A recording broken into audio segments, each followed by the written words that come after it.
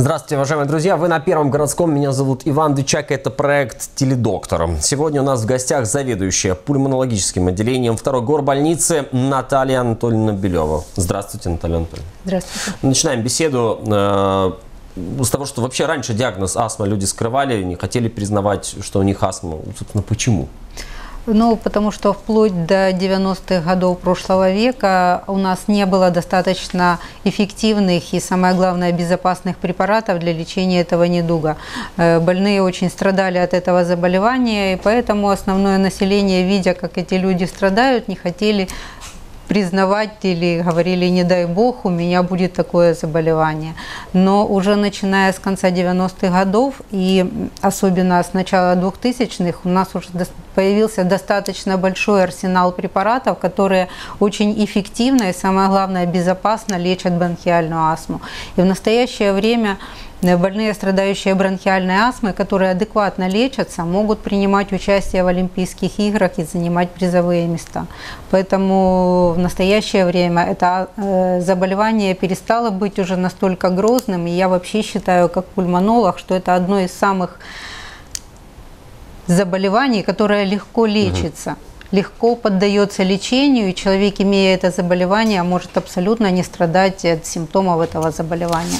А, друзья, я напоминаю, что наш проект интерактивный. У нас есть телефон, по которому вы можете позвонить к, к нам в студию, в прямой эфир и задать э, вопросы э, нашему специалисту. Итак, 067 827 2050. 067 827 2050. Э, звоните прямо сейчас. Э, я предлагаю посмотреть сюжет, который мы снимали в «Тысячке», работе вашего отделения, а потом вернемся, да. вернемся к разговору. Пожалуйста. Этим заболеванием страдает каждый сотый украинец, причем основная часть – молодые люди трудоспособного возраста. Бронхиальная астма также часто встречается и у маленьких детей. В современных условиях развития медицины эта болезнь не приговор, но лечить ее нужно своевременно, иначе есть шанс заработать инвалидность. Астма – это поражение бронхов, это бронхоспазм, бронхообструкция, которая хорошо, легко лечится бронхолитиками. Дал ингалятор, бронхи расширились, и функция дыхания у человека до 100 лет, он может страдать бронхиальной астмой, и адекватно лечась, функция дыхания у него будет нормальная. Надежда Борисовна страдает от бронхиальной астмы с детства. В больницу попадает регулярно, так как течение астмы усугубляет еще и целый букет заболеваний. У нее сезонная бронхиальная астма. Правильно, да? Да.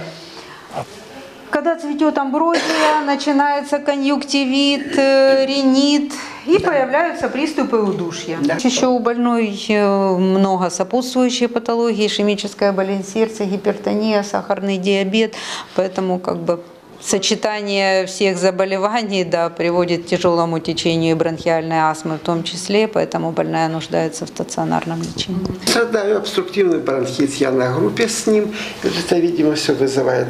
Э, и лет 10 э, на амброзию, аллергия на амброзию лет 10. Ну и... Каждый год приходится в больницу обращаться именно в стационары и пролечиваться? Каждый год практически по два, по три раза в год. С детства меня ставили коклюс, носили через... Э, с детства легкие у детей тоже такая проблема с легкими. Ну, может, не такая, как у меня, во всяком случае. После интенсивного лечения в пульмонологическом отделении «Тысячки» Надежда Борисовна чувствует себя гораздо лучше. Уходом и отношением сотрудников довольна очень хорошо, сразу улучшение, сразу хорошо пошло, э, лечение поддалось. А врачи, я вообще я в восторге, редко встречаюсь таких добродушных, хороших врачей.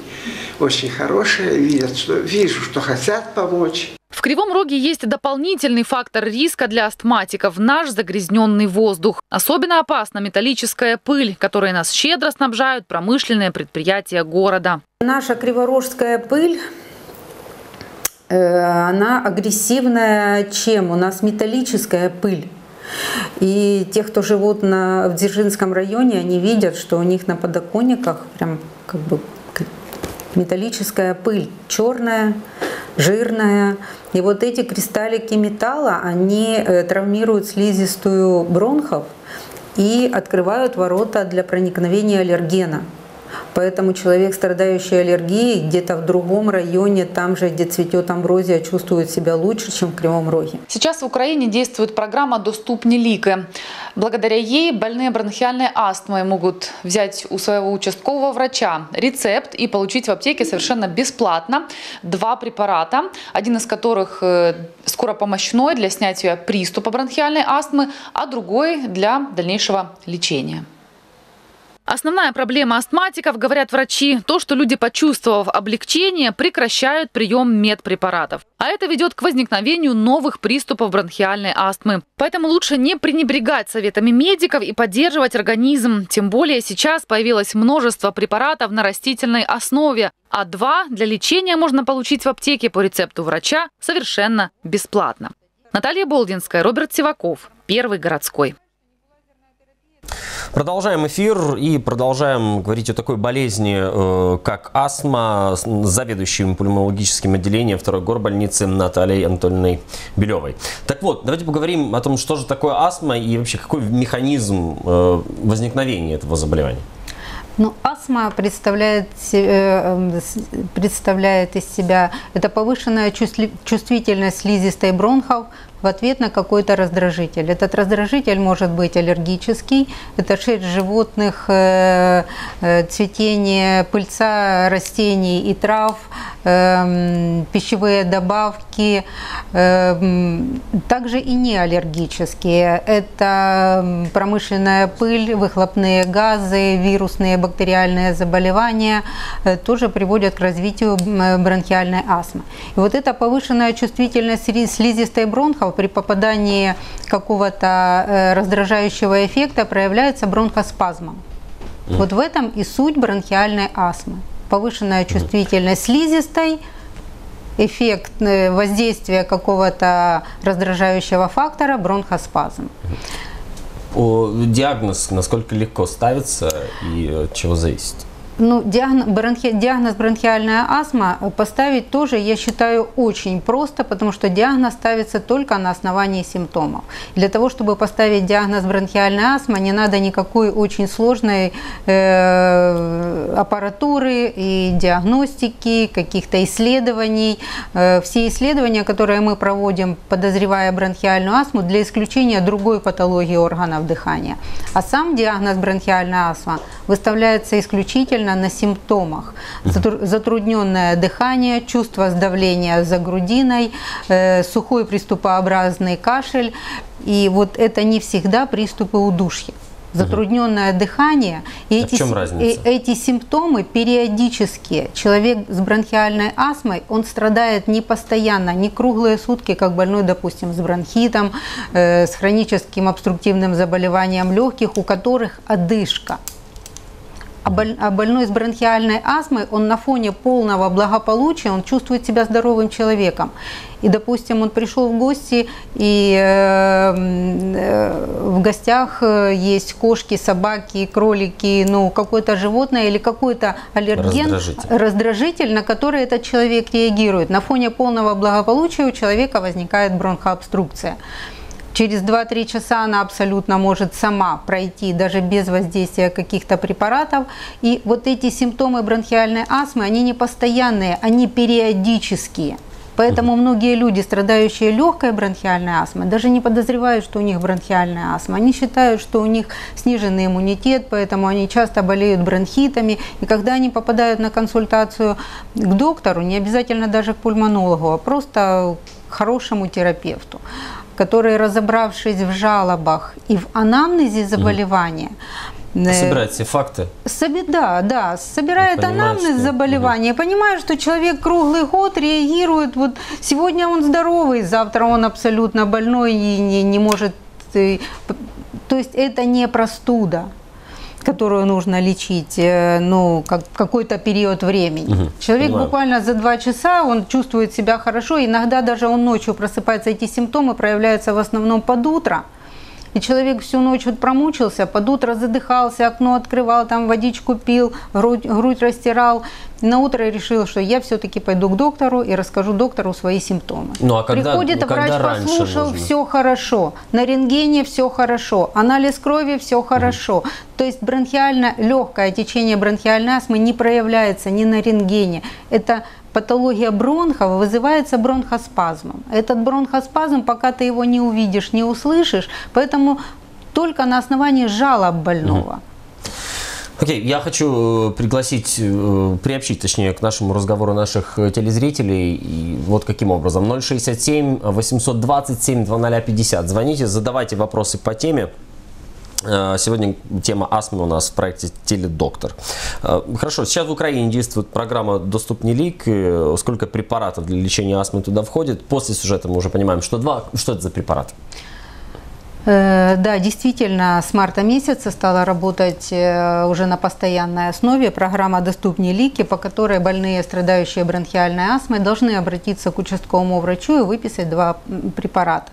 Как я уже сказала, бронхиальная астма проявляется приступами удушья, но это повышенная чувствительность слизистой бронхов, которая проявляется приступом удушья. И больные вот до сих пор, и основная масса больных – чем пользуются, снимает приступ удушья, потому что это больше всего их беспокоит. Но надо лечить причину этого приступа удушья, то есть надо убирать повышенную чувствительность слизистой бронхов, чтобы слизистая бронхов не реагировала таким образом на повседневные mm. раздражители.